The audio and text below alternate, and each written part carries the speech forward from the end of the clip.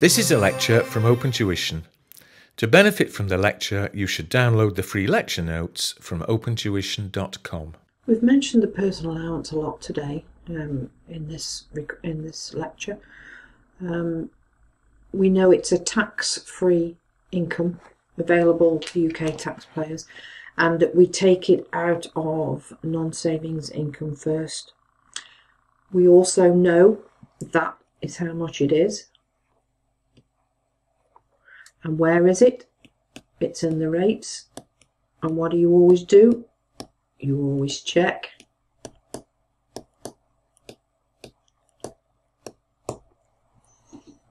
Now, the personal allowance um, and the rates of tax, when they have a budget every year in the UK um, to reintroduce tax, um, those two items, the personal allowance and the basic rate of income tax, are the one things that are. Um, it would be political suicide probably to amend those two. They are the headline items of tax. Everybody knows how much tax they have to pay at basic rate, um, and everybody has is aware that they have um, a tax-free allowance.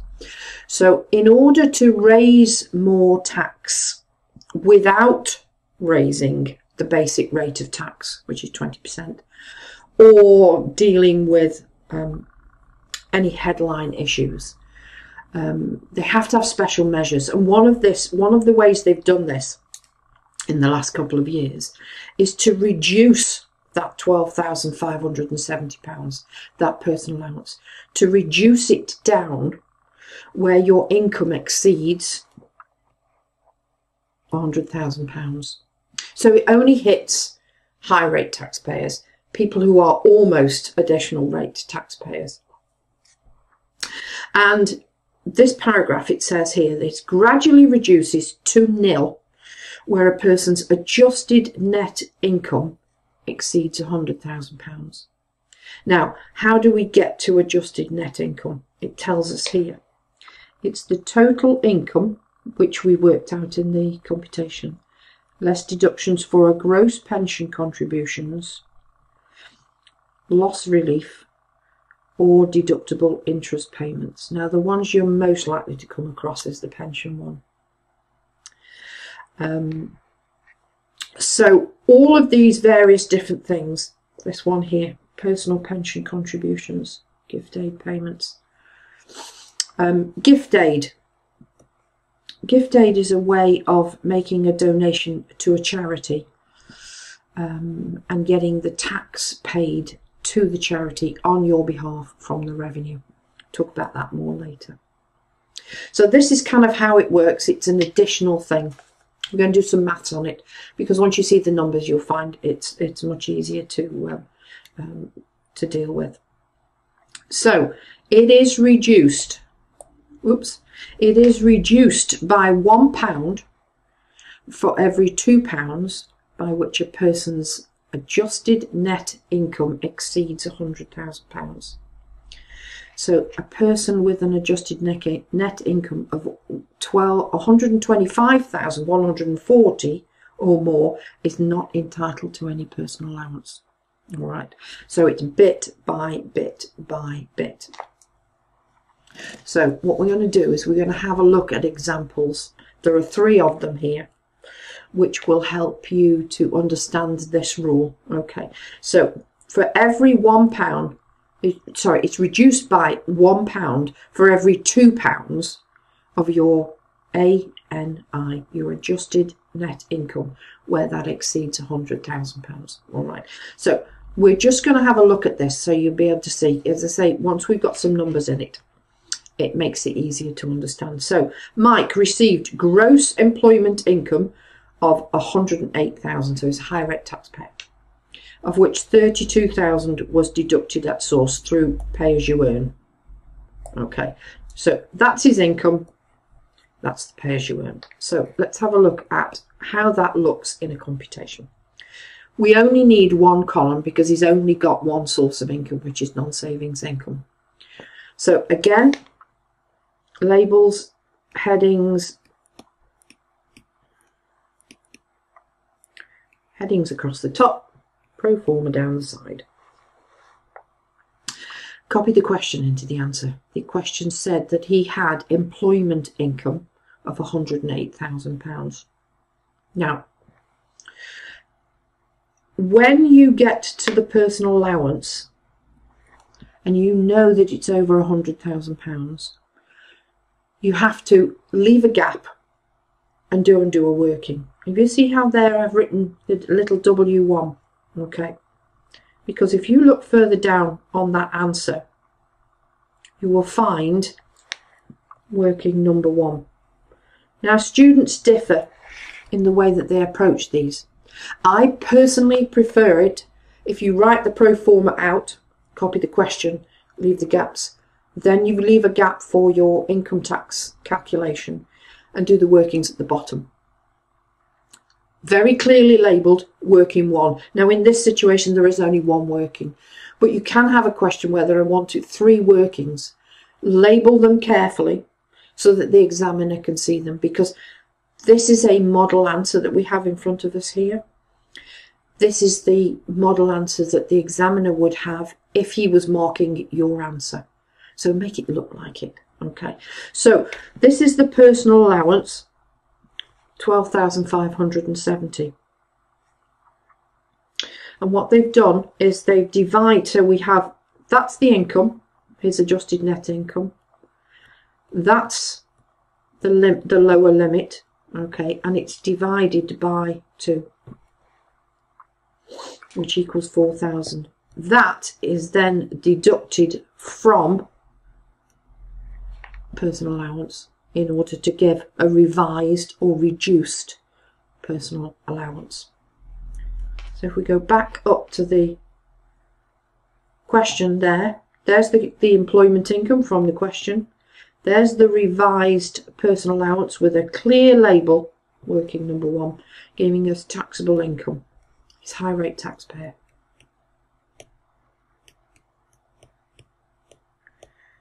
Underline the pro forma, finish it off, separate pro forma for the income tax computation. Non-savings is taxed first, then the savings, then the dividend income. So the non-savings income, again, make sure, just check, two, two seconds, go to your rates, check that you've got that basic rate balance where the figure is correct. 37,700 at 20%. £7,540. This is the total income. So that there is a balancing figure of 61,730. Use your safety net. Okay, that's taxed at 40%, giving us a liability of 32,232. Now, we are doing example number 8. Got it right this time. Pay as you earn of 32,000.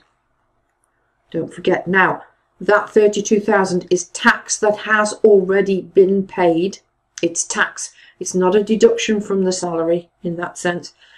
A salary is put in gross. You work out the tax. You take off the tax that has been paid already to the to the revenue, which means that he's only got £232 left to pay and you'll get a bill for that. Okay. Example number nine. Ken, trading income. So he's self-employed.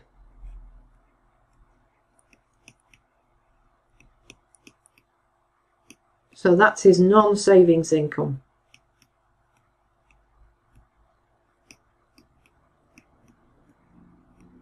And then he's got savings income. Ooh, and he's got dividend income. So we're going to bring several sets of, of uh, rules into this uh, into this question. So let's have a look at how that looks in the answers. Example number nine. And repeat. Labels. Headings. Headings across the top. Now we've got all four columns here because he's got these three different types of income. He's got non-savings income from trade, tick. Savings income from the bank, tick. Dividend income from his shares. Each one goes in its own column, all added up at the total at the end. Now, look at his total income. It's way over the 100,000. This man is an additional rate taxpayer.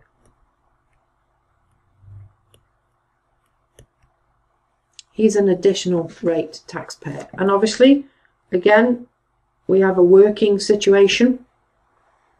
Now, it's obvious from this that he is not entitled to any personal allowance.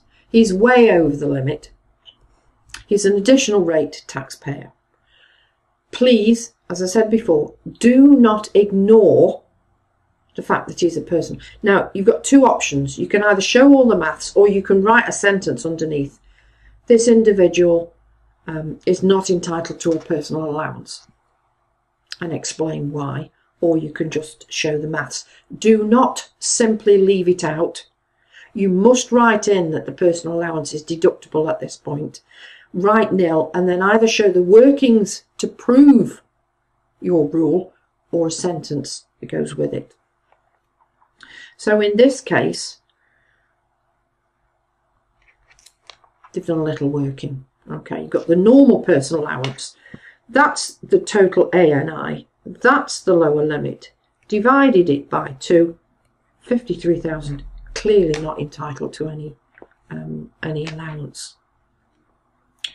So as a result, we've got 130,000 of um, non-savings income to tax first, then the savings income second, then the dividend income third and then we will deduct the pay as you earn from that because it's tax paid at source. You can see clearly there they are. And it's lab nicely labelled, set out. By doing that, you prove to the examiner, you know that they're done in that, that's the rule. You've proved that rule by writing it out like that. Nice and neat. The, the examiner will be very happy to see that you've done, um, you've done all of that 37,700 is at 20%. £7,540. Then we are into, so that's basic rate. Then we are into high rate. Okay. 92,300. That is a total of 130,000 that we've got there. So that's 130,000. Let me just write that in there. So that's the total of the non-savings income. That's taxed at 40%, which is 36,970. Now, at the point at which additional rate kicks in is 150,000. So 20,000 of the savings income is at 40% and the balance, the other uh, 20,000 is going to be taxed at 45%. No nil rate bands because he's an additional rate taxpayer uh, for savings. However, dividends, you notice, see, remember that rule? 2,000, it doesn't matter that he's additional rate, he still gets that. So 2,000 is at nil percent and then the balance. Now, I mentioned to you earlier, those numbers are difficult to remember. 20, 40, 45 you'll probably remember. Only need to just check them very quickly. But that one you'll need to check in the rates. Make sure you've got it right figure. Giving a total liability of 74,839. That's quite a complex little question. So as I've said before, go back, do it yourself again, read through it, make sure you're aware of how it all works. Example number 10. James has a trading income, um, self-employed of 102 and bank interest of 4. So let's have a look at James's situation in example number 10.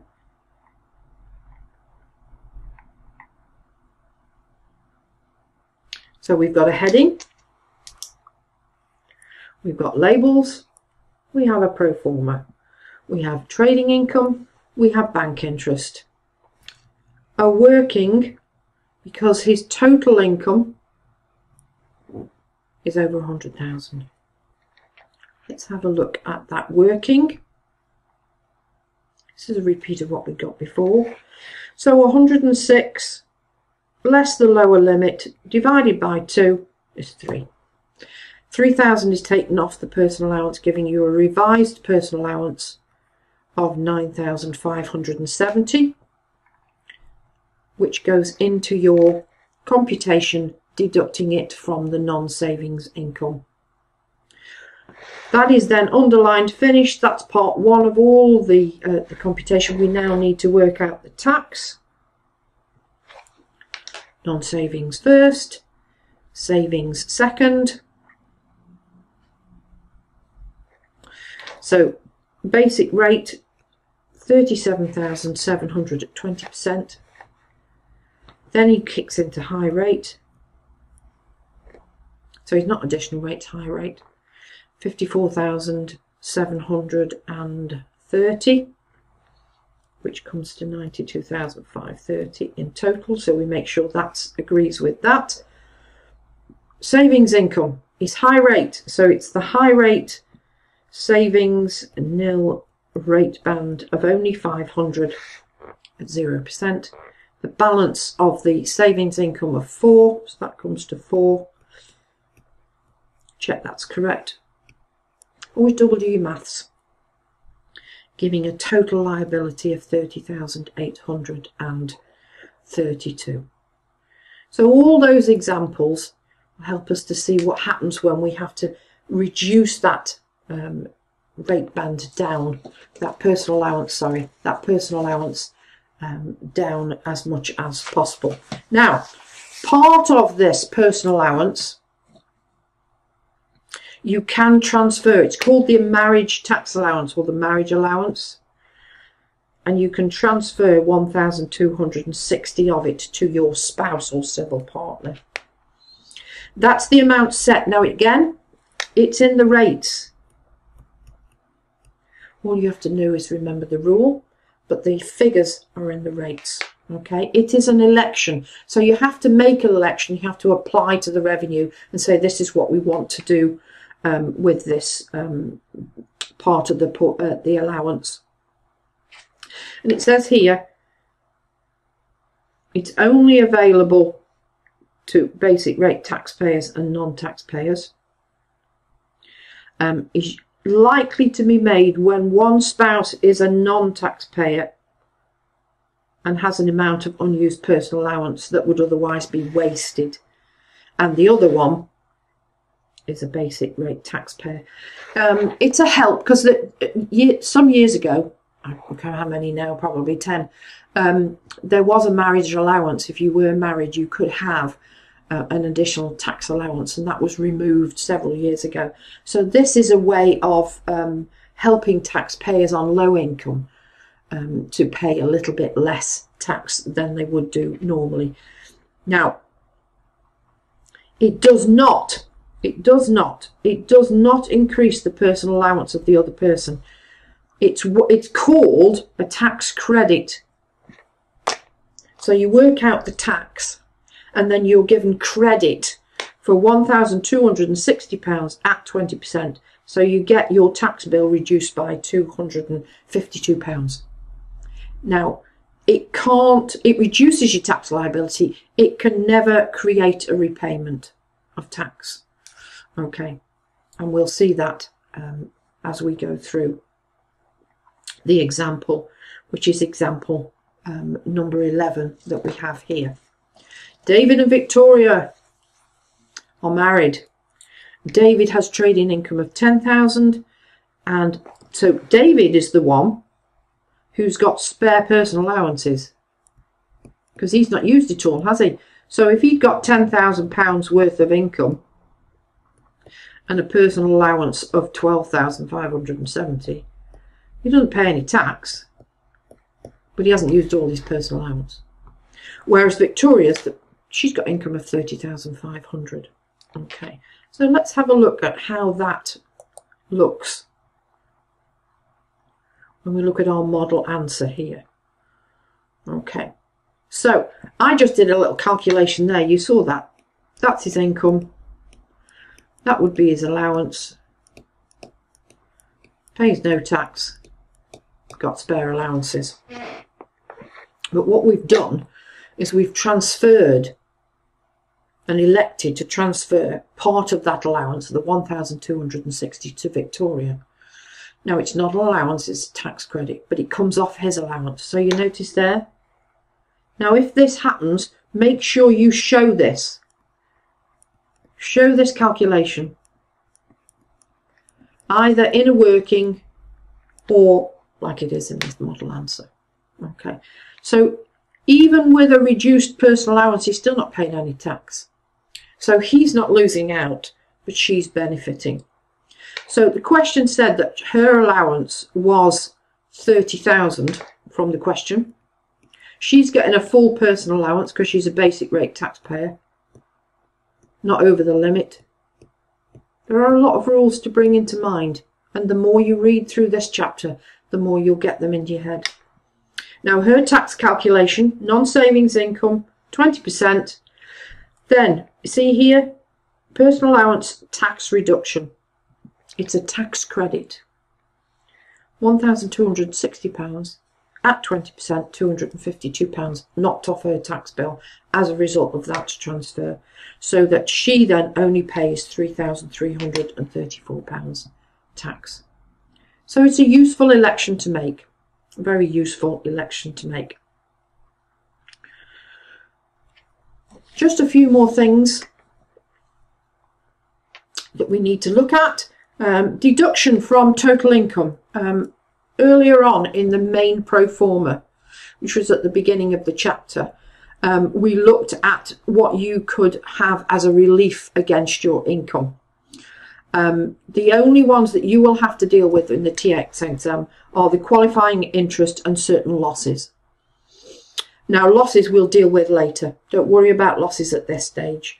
Um, we will deal with them later. But qualifying interest, these are the um, areas that you will get. Now, it will very clearly say that it is qualifying interest. You won't have to decide whether it is qualifying interest or not. It will clearly say that it is. So you just have to put it in the correct place. So it's uh, buying an interest in a partnership or contributing to partnership capital or loan. Um, buying plant and machinery used in a business if you're a partnership or an individual. Um, a loan to to buy plant and machinery by an employee, very rare that one is. Um, but if you look at the pro forma, you'll see those. So this one, that's rare. Um, that one occasionally, the that might be, but it will clearly say that in your question. That it, we, and you'll recognise it. So example number 12 here. Kathy has trading income of 52,000 and paid a thousand pound interest to purchase plant and machinery used in her business as a partnership. Those are the alert questions. You know that you've got those um, correct therefore. So let's look at her answer and see. Okay, only one source of income, only need one column. Trading income from the question of 52,000. You see there that the loss the, sorry, the the reliefs, the qualifying interest goes in before. So it's before. That goes in first. And then you take the personal allowance off, as in the pro forma. So the main pro forma, which we looked at, you'll find that um, in the in the same place. Then we work out her tax She's a high rate taxpayer, so the basic rate at 20% high rate, there's your safety net. That agrees with that. And her liability is uh, £7,832.